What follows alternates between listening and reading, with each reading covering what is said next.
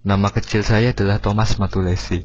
Saya lahir di Ambon pada tahun 1783. Saya pernah menjadi tentara Inggris berpangkat sersan. Pada waktu itu, Belanda harus menyerahkan wilayah jajahannya, di antaranya Maluku pada Inggris. Namun, hal ini tidak berlangsung lama. Setelah Perang Napoleon berakhir, Indonesia diserahkan kembali ke pihak Belanda. Seperti pada masa-masa sebelumnya, Belanda kembali memeras kekayaan bumi Maluku. Penindasan dan tindakan-tindakan kasar yang dijalankan Belanda menjadi salah satu sebab bangkitnya penduduk Maluku melakukan perlawanan.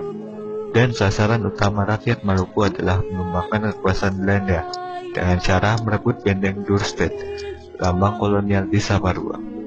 Pagi tanggal 16 Mei 1817, sebelum matahari terbit, penduduk sudah bersiap-siap hendak menyerbu benteng Dorset Sementara itu, saya masih berada di Haria, 5 km dari benteng. Empat orang diutus untuk menyebut saya. Dalam pertemuan yang diadakan pagi itu, saya diangkat sebagai pimpinan penyerbuan ke benteng. Saya segera menyusun pasukan dan mengatur siasat.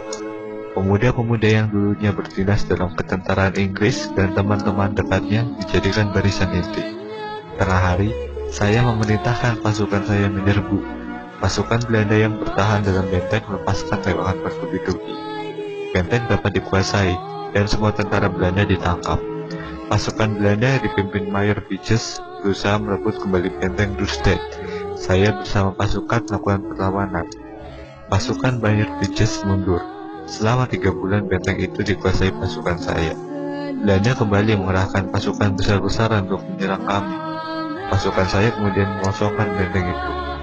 Setelah kejadian itu, Belanda kemudian mengadakan serangan besar-besaran. Pada bulan November 1817, saya ditangkap Belanda, dan puncaknya pada tanggal 16 Desember 1817, saya gugur dengan cara dihukum gantung.